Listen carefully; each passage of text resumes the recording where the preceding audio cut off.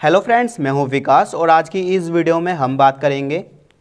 अगर आपके पास भी है कोई सा भी फ़ोन जैसे कि ओप्पो वीवो रेडमी या सैमसंग वगैरह, और आपको एक ऑप्शन देखने को मिलता है यहाँ पे unknown block calls from unidentified callers और शायद आपका ये ऑफ़ होगा, या ऑन होगा, और आपको दिक्कत आ रही है कि ये ऑन रखें, या ऑफ़ तो मैं बताता हूँ कि इसमें क्या सेटिंग करनी पड़ेगी। तो ये क्या है, सबसे पहले बता देता हूँ। तो अगर आप इसे ढूंढना चाहते हो तो आपको ये मिलेगा कॉल लिस्ट में आके, यानी कि जहाँ से आप कॉल करते हो, उसे ओपन करें। तीन डॉट पे टच करके सेटिंग में आए, यहाँ पे आपको मिलेगा ब्लॉक नंबर, आपको यहाँ पे मिल जाएगा। अब बारी आती है कि ये है क्या?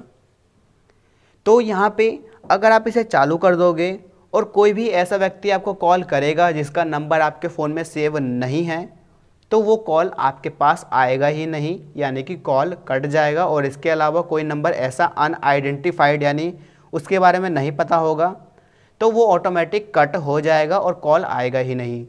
तो ये आपका शायद अगर चालू होगा तो इसे बंद कर दीजिए और इसको बंद ही रखना चाहिए। तो अगर आप इसे चालू कर दोगे और कोई भी नया व्यक्ति आपको कॉल करेगा जिसका नंबर आपके पास नहीं है तो हो सकता है कॉल कनेक्ट ना हो और आपको बाद में शिकायत मिलेगी भाई तुम्हारा कॉल तो लगता ही नहीं है बिज़ी बताता है या कुछ भी वजह हो सकती है।